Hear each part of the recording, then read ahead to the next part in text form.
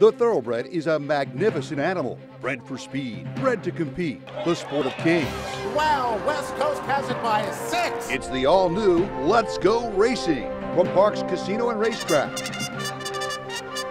It's action packed and fun for the entire family. Three of them are right together with one furlong to go. Let's Go Racing is brought to you by the Pennsylvania Thoroughbred Horsemen's Association.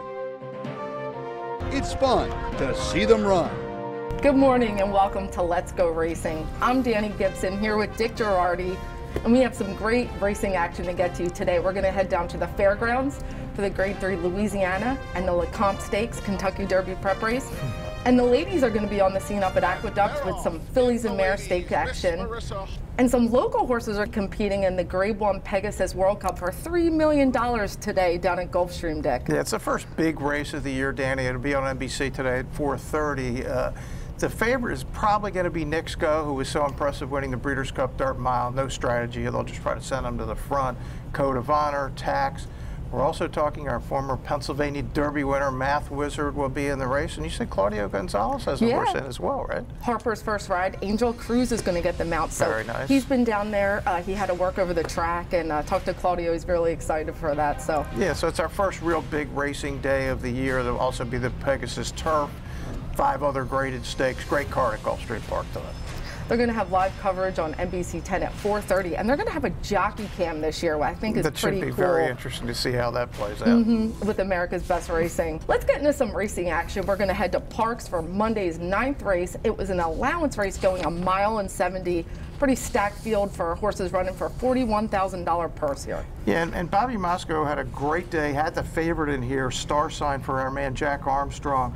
Just really solid form. Doesn't run too many bad races. 15 starts, four wins, four seconds, three thirds. Our second choice favorite was Okram at four to one. Um, you know, definitely deserved second choice. He ran down in the claiming crown. Uh, very consistent horse for Carlos Milan. He did. Another one. I just like these horses that always give you an effort. Okram is certainly one of them. 39 lifetime starts, Danny, 6, 4, and 6. And our girl Kate DeMasi has violent turbulence at 8 to 1. You know, he just broke his maiden. He's Mm-hmm. going up against older horses, uh, proven horses, so uh, pretty exciting to see how he'll do here. Yeah, jumping up into the A out of them, but that's obviously the next logical spot. And as you said, has to go against older now. Gets jockey Frankie Pennington. Let's see how the race unfolds. Inside violent turbulence left well from the uh, extreme center. There goes Celtic Treasure with Screen Saber in between rivals. Star Sign comes away fifth towards the inside. Skipping on Orchard is sixth.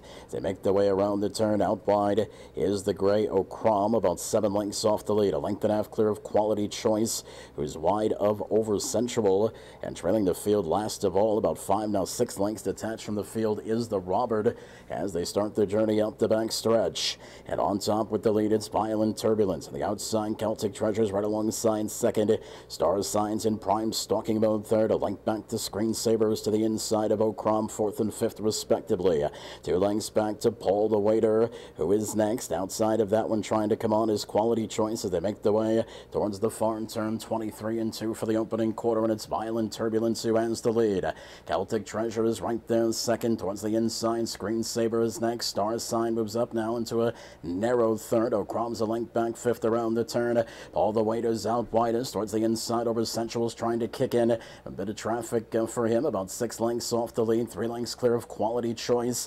Trying to rally on the Roberts, still 10 lengths of work for him to do. And skipping on Orchard drops out to last. It's still Violent Turbulence, the one to catch. O'Crom's out widest now. They straighten away for the stretch drive. Violent Turbulence leads it by a length and a half. O'Crom had to shift in. Star signs in between rivals. Screensavers trying to kick in at the rail. Mid stretch, Violent Turbulence. Inside, Star sign is reaching now. O'Crom's bit is stalled from far back. The Robert is gaining very, very quickly. Violent Turbulence inside Star sign. The Robert absolutely flying. They come down to the finish. Violent Turbulence or Star sign. It's very close. Violent turbulence, just game effort on the finish with jockey Frankie Pennington. Yeah, got loose on the lead, got challenged, got away from the field. Looks like he's going to win pretty easily, and then whoa, it was getting close there at the end. Held on by a nose at eight to one. Owners Pewter Stable and Spadelli Family Racing. Sal Spadelli had a really good week. His horse Venezuelan Hug, by Danny, uh, trained by Danny Gargan, won on Sunshine Millions Day in the turf. So uh. Well, that big go. handsome gray. So I'll good day for that owner. Absolutely. good week. Time to head into our first break. When we get back on national coverage, we're going to head down to the fairgrounds for the Grade 3 Lecomte. Kentucky points on the line when we get back on Let's Go Racing. Midnight Bourbon, who controls the pace here for Joe Talamo. Looking to join the thrill and excitement of thoroughbred racehorse ownership? Pewter Stable can get you started. With more than 25 years of experience under the leadership of Greg and Kate DeMasi, Pewter Stable is one of the industry's leaders in racing partnerships, winning hundreds of races and millions of dollars at racetracks all over the Mid Atlantic, including New York. No markup, no management fees makes our partnerships unique and affordable. We are Pewter Stable. If you want action and you want it now, you got to get the new Parx Racing mobile app. Wager and watch thoroughbred and harness racing from around the world. With the Parx Racing mobile app, it's easy to open and fund your account. Then place your wagers and cheer on your horse as they thunder down the stretch. With the Parx Racing mobile app, you'll easily make withdrawal requests, view the previous day's replays and results. Plus, open any new account now and you'll be automatically enrolled in the Parx Rewards program. The more you wager, the more you earn. Get the new Parx Racing mobile app and get in on the action. Did you know the Pennsylvania horse racing industry spends tens of millions of dollars supporting agriculture? From local farmers and farm workers to veterinarians and more. And we do it with zero tax dollars while creating tens of thousands of jobs.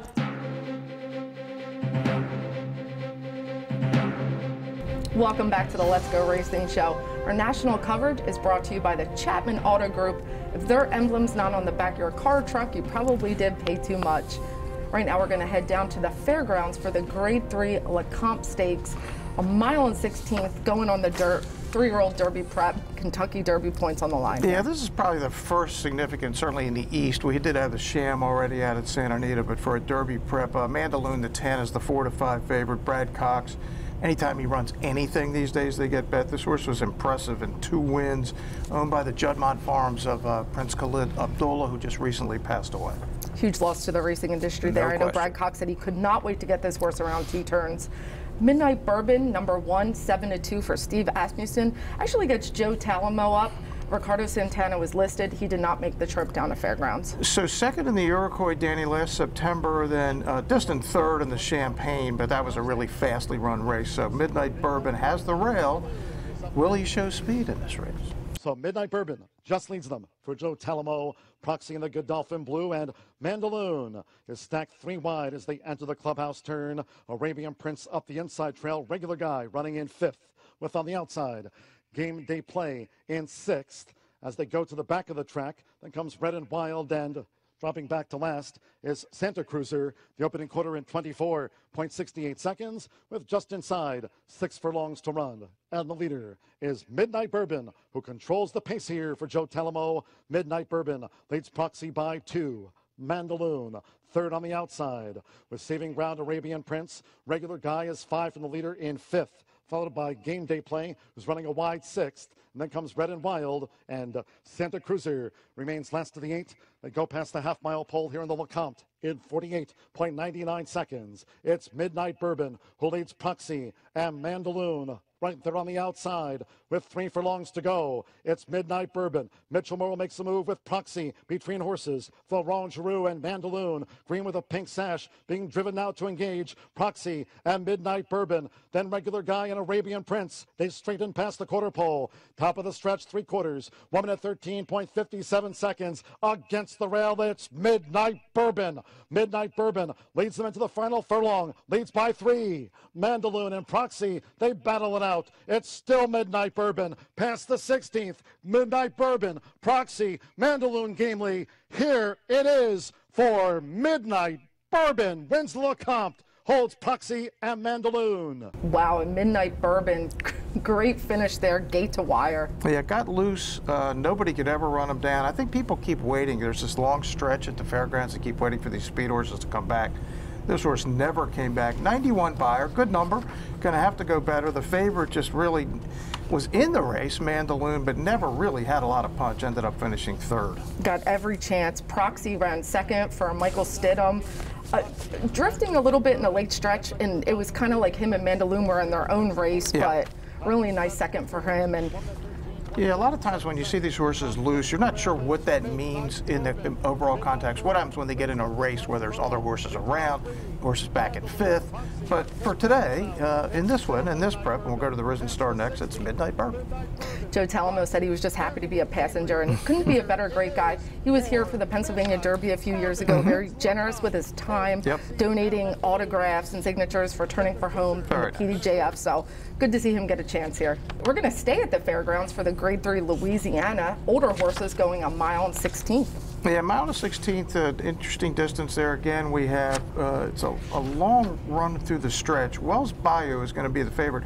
Now, is that a name anybody's familiar with? Well, it should be, because he won the Louisiana Derby at this track last March. Uh, he was in one of the divisions of the Arkansas Derby, ran behind Nadal, and that was it. We haven't heard from him since. He was on the Derby trail, he got off, and now he's on the comeback trail for, yes, that man, Brad Cox. Bayou. It just sounds like a name that should be down in Louisiana too. Blackberry Wine, our second choice favorite at three to one for Joe Sharp and uh, gets Adam Beschizza. Yeah, Blackberry Wine most recently really powerhouse win in the op optional claimer at Fairgrounds. Danny got a 98 Beyer. If he can come anywhere back to that number, that's that's going to be good enough to win the race. Blackberry Wine, who leads them into the clubhouse turn. Title ready in the gold sleeves, is fourth upon settling, joined down the outside by Sonneman. Silver Prospector comes up the rail, just inside, seven furlongs to go and under the hands of Shaun Bridgmohan. Captivating Moon trails the Stakes Septet. The opening quarter for Blackberry Wine slows them up. 25.28 seconds. No early pace on Blackberry Wine, who's allowed to dictate terms as Florent Geroux has Wells Bayou in the pursuer's role. To the inside is Grand Luigi running in third by two. Title ready in fourth. It's a break of two more to Silver Prospector, who's racing inside of Sonneman. Captivating Moon remains last. They go past the half mile pole. Four furlongs in 49.53. Blackberry Wine, Wells Bayou, Grand Luigi. Title ready. Still evenly in fourth but now with three furlongs to go. And Blackberry Wine still to reel in. Silver Prospector, Simon leads only the wide. Captivating Moon. It's Blackberry Wine. Wells Bayou's been right there as shadow. Blackberry Wine arrives at the quarter pole with a two length lead. Three quarters in 1 minute 13.91 seconds. Blackberry Wine leads Wells Bayou, who's in full stretch, title ready now, takes his shot on the outside in the furlong grounds. It's Blackberry Wine roused, title ready. Wells Bayou's third. Sonneman at Silver Prospector. Here's title ready for Brian Hernandez Jr. Gets the lead close to home. Title ready on top. Takes the Louisiana Stakes from Blackberry Wine. And the classy title ready getting it done with Brian Hernandez Jr., who had two stake wins on the day down there. Yeah, Chuck Fipke and Dallas Stewart, certainly combinations, won a lot of races. And this is the classic class relief. This horse's last two races, Breeders' Cup Classic behind Authentic, and then more recently he was in the Clark against Bodie Express and Code of Honor. Back where he belongs, ran great, got a 98 Beyer. Yeah, when he was set down, man, he was right there. He was on the wrong lead, but looked good doing it. Win anyway. Blackberry Wine held on for second. Third was Wells Bayou, so favorites kind of around one, two, three. Yeah, Brad Cox had a lot of favorites and not a lot of winners on the card, so people, that's not very unusual for him because he wins a lot of races as favorites, but no good last Saturday at the Fairgrounds. We're going to head up to Aqueduct for the ladies handicapped going a mile and eighth on the dirt. $100,000 stakes here. Yeah, we had Lucky Move in here. This is most interesting, obviously, for us. This is Carlos Guerrero in 10 straight. Most recently, she is a New York bred. She won the, the Bay Ridge up at, at Aqueduct on the 13th of December with our man Kendrick. But Kendrick says, I don't think I'm riding for you today. I'm going to ride thankful for Todd Pletcher. And obviously, if Todd wants you to ride, that's what you do. So Kendrick on thankful and, and Miss Marissa, the Black Eyed Susan winner. It's a pretty good field, but yeah, our eyes were on Lucky Move.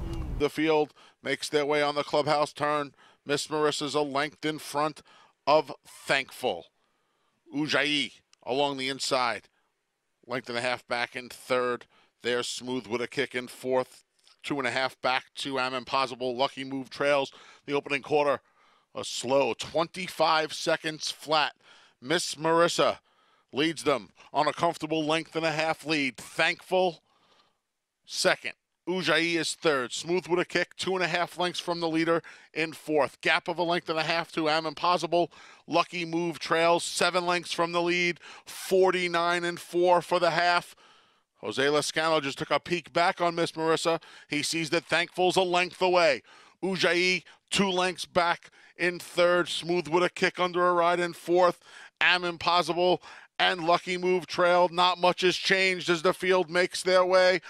Midway on the far turn, Miss Marissa, thankful, ratchets up the pressure in second, smooth with a kick, past Ujai into third, lucky move, and I'm Impossible, a half a dozen lengths from the lead, three quarters and 114 and four. Miss Marissa braces for Thankful's challenge. These two have a length and a half on Ujai, who swings outside, far outside, lucky moves out of last.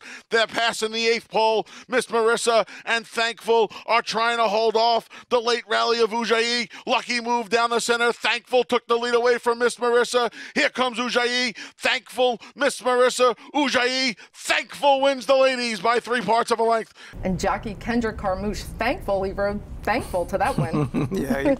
look, when Todd Pletcher wants to ride for you, this was a four-win day for Kendrick, including three for Todd. You even have to abandon your friend sometime. I know he loves Carlos and 10 Strike because they've been good to him. They've been good for each other. But yeah, Todd, once you, you're in, 88 Beyer for Thankful. Miss Marissa ran really well, the Black Eyed Susan winner.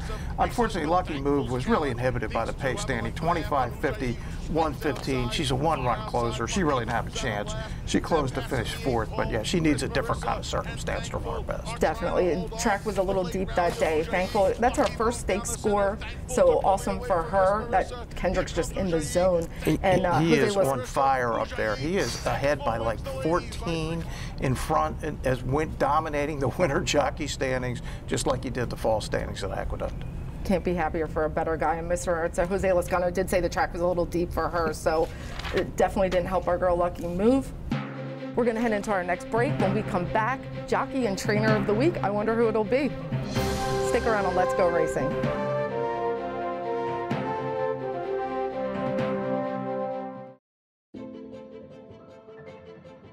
Breeding thoroughbreds is a complicated business, but one that is done for the love of the horse and the sport of horse racing. Founded in 1948, the Pennsylvania Horse Breeders Association is a not-for-profit organization focused on the breeding and care of thoroughbred horses. PHBA is responsible for managing all aspects of the Pennsylvania Breeding Fund and the official registration, marketing, and promotion of Pennsylvania bred thoroughbred racehorses. PHBA works with industry leaders to help bring reform and benefits to breeders, owners, racetracks, and the general public. Breeding thoroughbreds is a unique and gratifying lifestyle, one that allows participants an experience unmatched in its emotional intensity and in the enduring social relationships it forges. Whether you're currently a breeder or considering getting involved in this exciting industry, the Pennsylvania Horse Breeders Association can help in your quest to master the complexities of breeding a thoroughbred. Welcome back on Let's Go Racing. Our jockey and trainer of the week is brought to you by Turning for Home, our racehorse retirement program here at Parx, safely assisting uh, thoroughbreds in a safe retirement.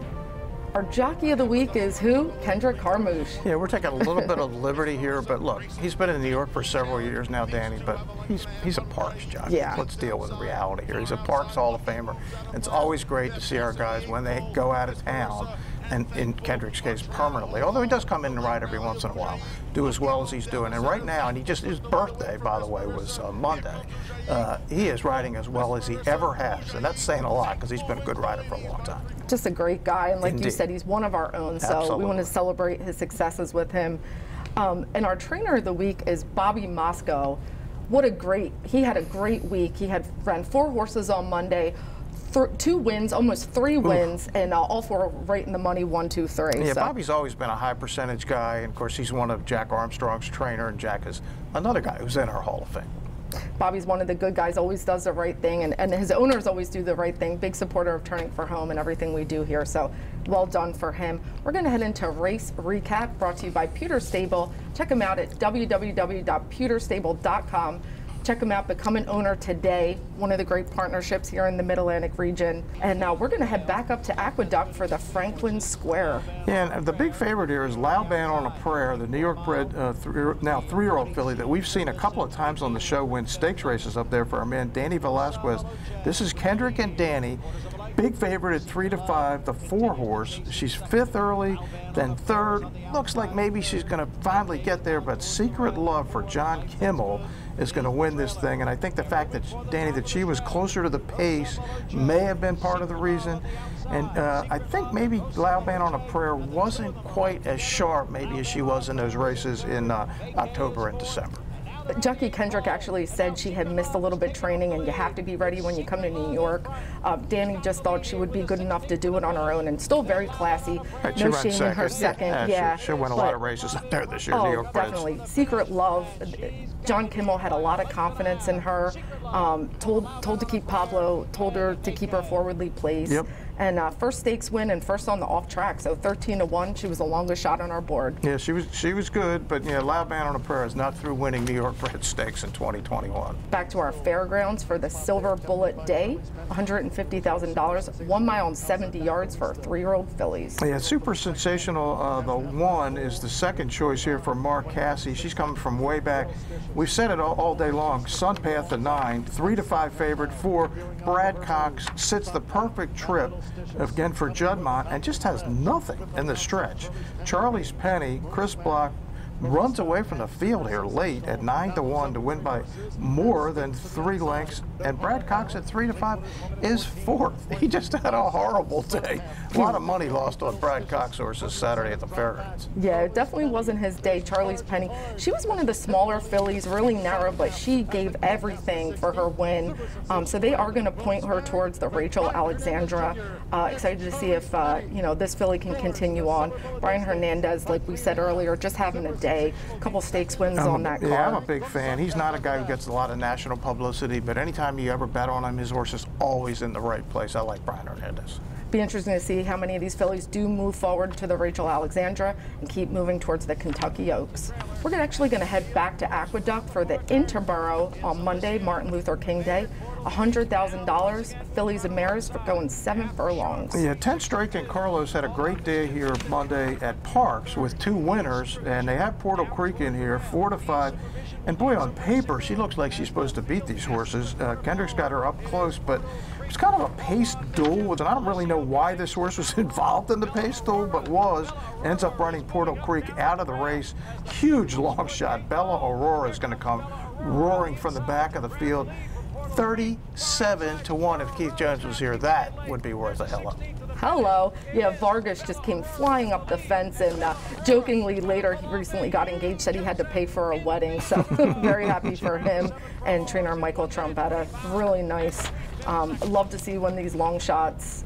Yeah, 37 to 1 is always fun, especially if we have money on them. I had nothing on this horse. I actually was thinking about betting on Portal Creek, but the, she got bet down right at the end of 4 to 5, which was a little silly. I'm, Yeah. not, I'm not a big 4 to 5 fan. Well, good thing 10 Strike and Carlos, they still had They a had a great good enough day. They had a great day last Monday at Park, so happy for them. See where Portal Creek lands next. It's going to be time for our Eye on Racing. So lots coming up. Today we have the Pegasus World Cup Grade 1, $3 million. Right, and the Pegasus Turf and five other graded stakes. We have sprints, we got route races on the dirt, we got route races on the turf. It's just going to be a great car, and of course, it's going to culminate, as we said at the top, 4:30 on NBC. You'll see the big races, and of course, all the races you can bet on them right ahead here at Parx. all the top jockeys, all the trainers. Check out our local horses. We got Math Wizard Connections going to be running and Harper's First Ride.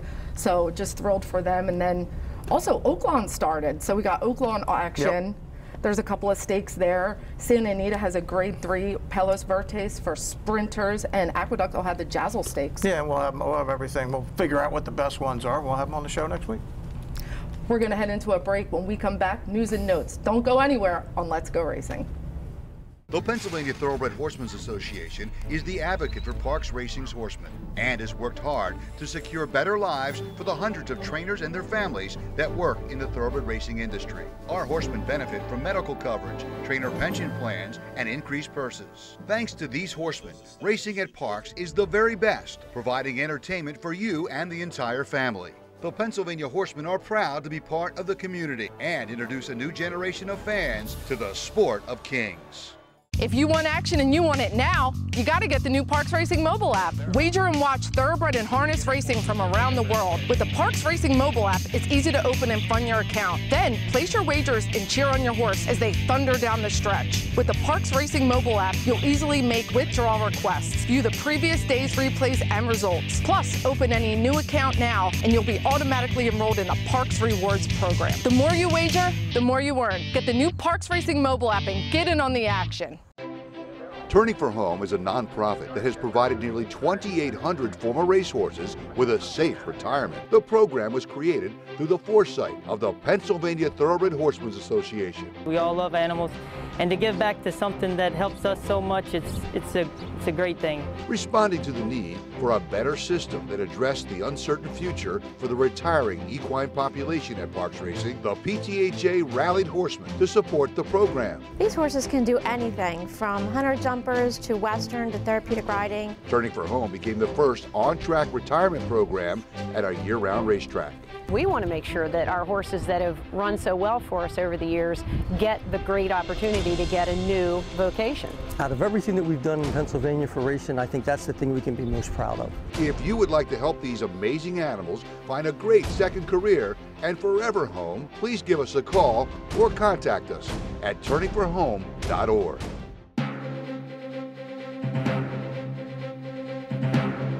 We're back on Let's Go Racing. News and notes brought to you by the Granny Fund. The Granny Fund helps uh, further education here on our backstretch, helps with funding for that. So, love our Granny Fund. Dick, so lots going on. The Eclipse Award finalists were announced. Yeah, they were last Saturday. Uh, the actual awards themselves, the winners will be announced uh, in a week or so. Vequist, obviously a finalist for two-year-old filly. Uh, Danny and I actually wrote about it on Let's Go Racing Parx.com this week. Dad at the office, also a finalist, and Pearl. Now, if you're concerned that uh, Vequist might not get it, don't be, because a very similar situation happened two years ago with uh, with Jaywalk, a newspaper of record. It was really right. good on the turf.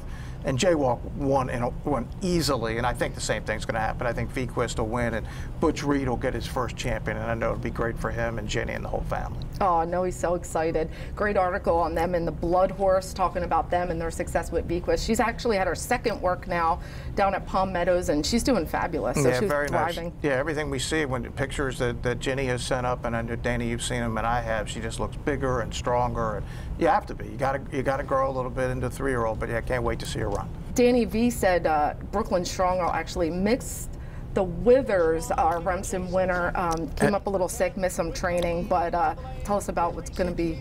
Yeah, so I, am not sure exactly what Danny's going to do yet. There's maybe some talk about Florida for a fountain of youth, but yeah, got a little sick, missed some training time, nothing disastrous. But look, when you have a three-year-old on the Derby Trail, you don't want to miss anything. Yeah. Uh, but if you're going to miss it, better in January than March or, or April. But so no Withers, uh, and, and, so no match with Capo O'Kane, the park stool. But as far as I can tell, Harry Weiner's still good for Capo O'Kane next month in the Withers at Aqueduct. Yeah, I saw in our Tony Como. He's still beaming with uh, smiles from the Capo O'Kane victory. So more to come on that story to see uh, with our three-year-old shaping up here. So thank you so much for joining us on Let's Go Racing. Me and Dick had a great time. We did. We always do. Come join us out at Parx. We race Monday, Tuesday, and Wednesday. Post time 1225. We'll see you next week.